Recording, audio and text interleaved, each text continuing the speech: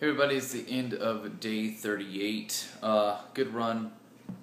Uh, it was our first run back from Phoenix, so you know, just kind of readapting to the weather. It was nice and warm down there. Up here, not so much, but it was a it was a decent run, and we're ready to grind it out. I mean, we're gonna be out here without any interruptions for a little while now, so just gonna grind it out and get the mileage in and get the mileage in and start getting closer and closer to Twin Falls and then after that, uh, you know, we head to Salt Lake City.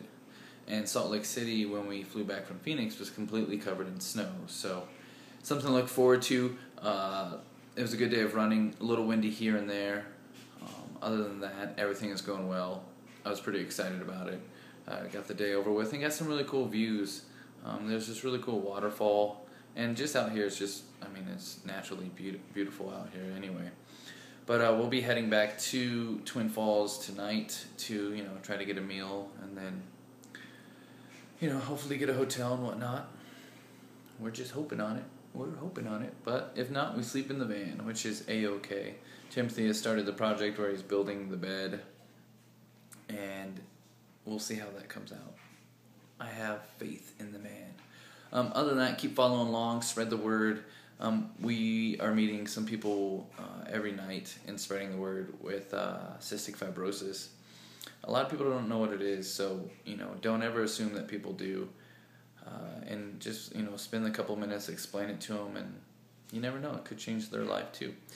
But uh, we're definitely doing as much as we can out here. We have some interviews and uh, lined up with the newspaper, TV station, and we're hoping to get on some radio stations while we're around uh, Twin Falls. So we're just gonna keep working on it. Also check out the uh, the website has been updated with some of the route stuff and everything like that.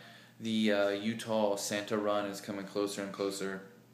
I think we're like 11 days away from that.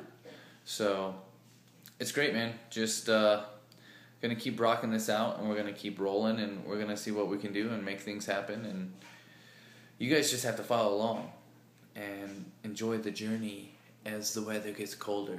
I'm kind of excited about snow though. I really want to see some cool pictures and see what it's like to run in the snow for 15 miles. But uh, keep following along. You know, we're gonna rock this out, and we will see you tomorrow.